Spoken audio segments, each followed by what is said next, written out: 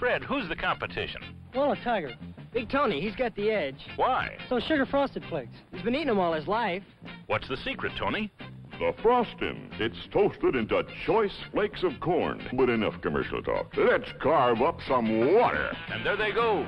All I need is some room and board. Uh-oh. Giant waves are blowing in. Wipe out 8 and 12. There's Tony with that famous tiger yell. And